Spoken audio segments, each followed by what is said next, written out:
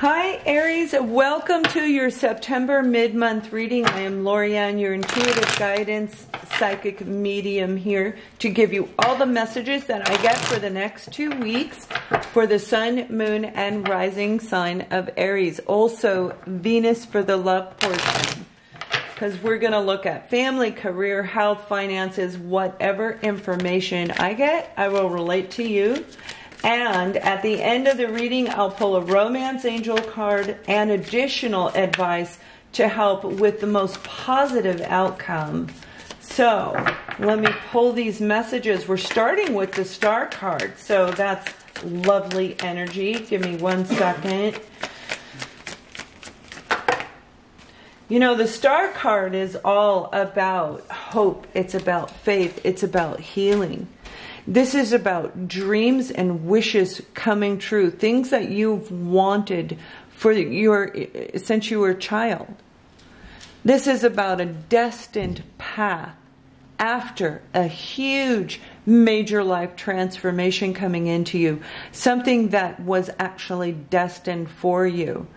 For some of you, this is you being in the spotlight, okay, in, in the spotlight amongst society being a star of fame, so to speak. Now we have the Seven of Wands. Setting boundaries to protect yourself from others that could harm you. Knowing the difference as you've gone through this healing process of how to set appropriate boundaries for you in all areas of your life. Not allowing people to step through those boundaries, right? Drawing the line, protecting yourself, holding people back. Some of you in the social spotlight, you're being attacked by people. And it looks like you may have an online business. For some of you, it's definitely online. I feel like they're attacking you. We also have the Four of Cups, uh, I mean, the Four of Pentacles energy, which is really about you holding on holding on, holding back when it comes to whatever the situation is for you. This is not allowing free flowing movement to come into your life or out of your life. I mean, either which way.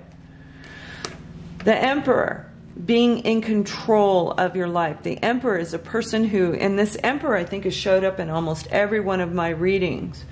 So really it's about you being in control of how you allow people to come into your life, what you accept in your life, what who you're going to give to because you've learned your lessons, right? So now you've set these boundaries. You know you're in control of your life. Now we are also looking at a person who can be very uh, egotistical, they can be in control of their life, of your life. They can be controlling. Sometimes this energy is um, a person that we're dealing with. It can be an organization that we're dealing with. This can also represent in business, you being in the social spotlight. You could be a politician, an advocate when it comes to government areas and I am seeing healthcare as well. Healthcare, an advocate, somehow, some way, a spokesperson for a hospital, running a hospital. Yep. Now we have the Nine of Cups. Happiness, joy, feeling like you've just reached your goal, whatever your goal is, because you set boundaries and you learned how to give and take to the right people. You became in control of your life, so now you're celebrating.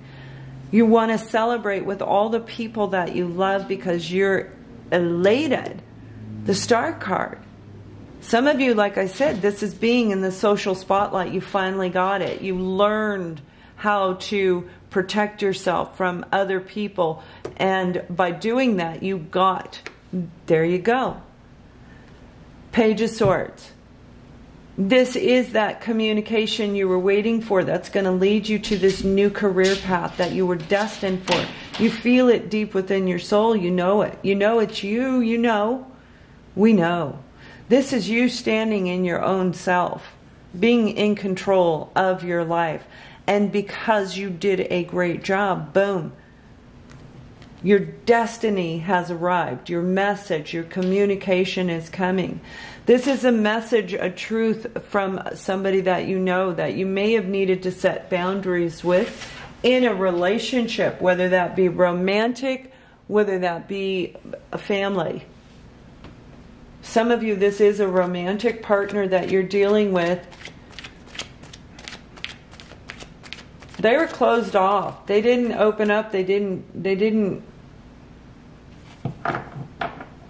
They didn't say much. They didn't share their feelings. But see, you stood your ground with this person, whether that be through separation, whether that, that be the two of you living under the same roof and not communicating at all. You stood your ground because they were holding back, and now they're going to open up emotionally. They're going to want to. This is joy and celebration. This is you winning saying, okay, if you don't open up, then I won't play. And they do. They actually are coming forward to tell you how happy they are with you.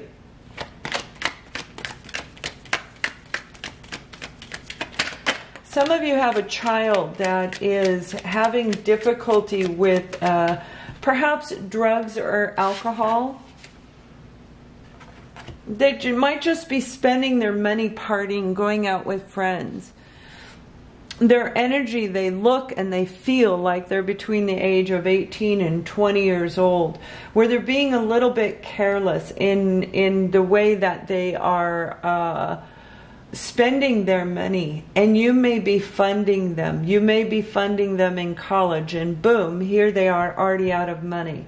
So it's really important for you to keep this dynamic uh, from happening again, to set boundaries. And we do have the Seven of Wands again.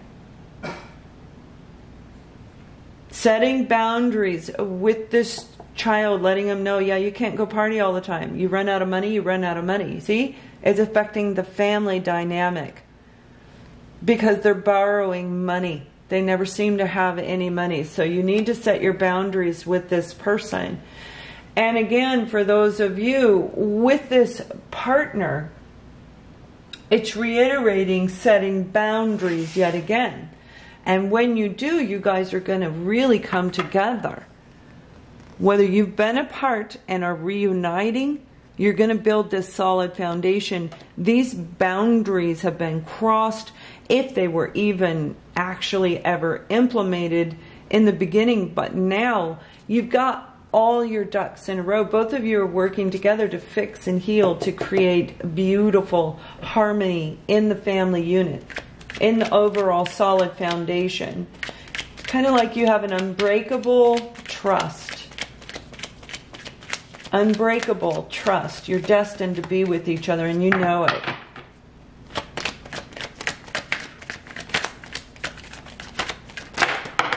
Yeah.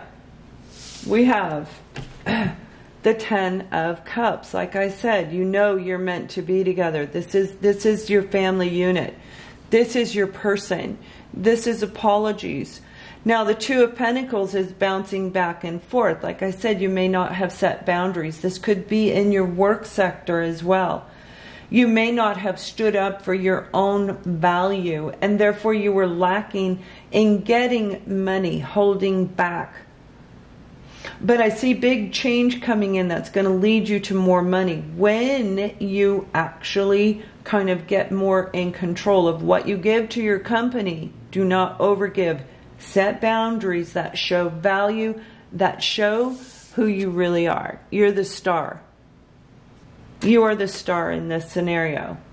So bouncing back and forth from those of you in a relationship where they were crossing boundaries. Again, you, you may not have had very, uh, you may have allowed them to cross boundaries. And what I'm seeing is a scenario where it's like, you better not do this again. I'm not going to help you again.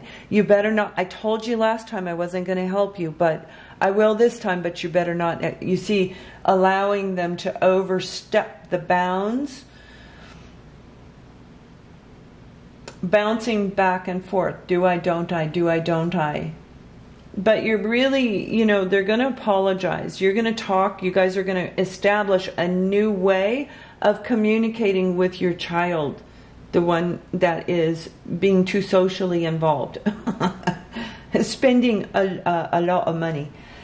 Here's an apology from from the child when when you have this discussion, when you have this communication and the message is going to come in. They, they don't, they didn't mean it. This is healing a family unit.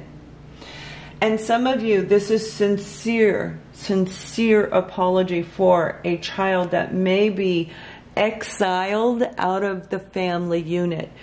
Something may have taken place where maybe they did cross those boundaries. Maybe they did affect that foundation, but there's some sense of conversation that leads to, I, I feel like sighing, like finally being able to reestablish a new, better founded family unit with this uh, individual. So we are definitely looking at this you in this reading Aries. We're looking at Aquarius zodiac signs of uh, Libra, Gemini, Aquarius, and Virgo, Taurus, Capricorn. We have all elements, all other energies are on the board. So let me pull a romance card for you guys because I really feel that there is a, a huge growth process going on in a relationship now, again, that's on any level. Mostly within you, you've really grown, really grown. Yeah, see, pay attention to the red flags. The signs are cautioning you.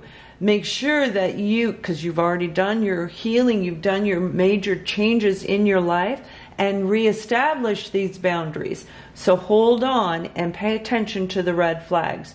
You're going to know who you're dealing with. You're going to know whether you should give to this person or not.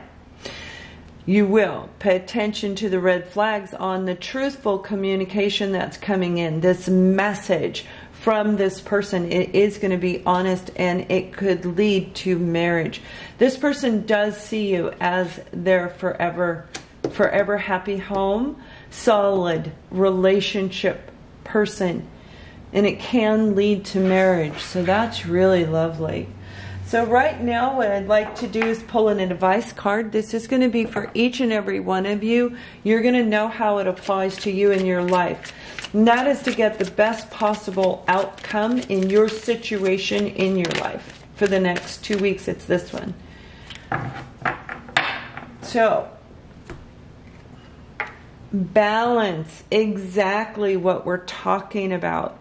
Knowing paying attention to the red flags knowing if they're speaking the truth. Setting those boundaries putting your wall up knowing when to take the wall down when to put it up right? We only put it up if somebody's going to come in and hurt us but this is really i bring a state of perfect harmony into my world.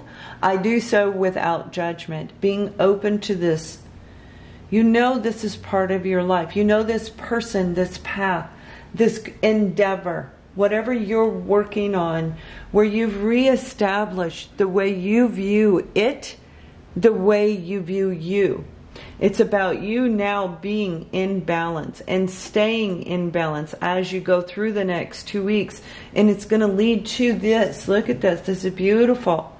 Ten of Pentacles, Ten of Cups lots of love, lots of security, a brand new job offer, a brand new relationship beginning.